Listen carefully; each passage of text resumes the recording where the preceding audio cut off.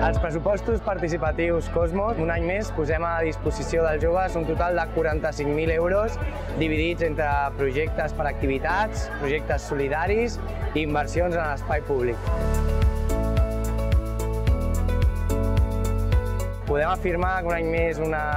un rècord, una xifra rècord de participació. Molt emocionades de poder afirmar que aquest any hem batut rècord d'assistència amb un total de 300 joves dels dos grups d'edat, els majors de 18 anys i els menors de 18 anys, que han participat en aquesta assemblea i que consolida la idea de que el jovent de Montornès es mobilitza, organitza les seves pròpies activitats, els seus projectes solidaris i que s'impliquen per fer de Montornès un poble encara més viu, més participatiu i més comunitari.